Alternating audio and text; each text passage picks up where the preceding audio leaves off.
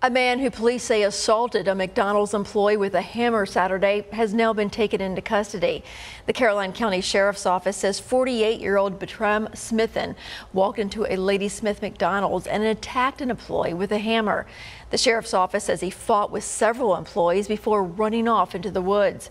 Earlier today, police say a caller spotted Smithen in the woods along I-95 near the Ladysmith exit. He was arrested without incident.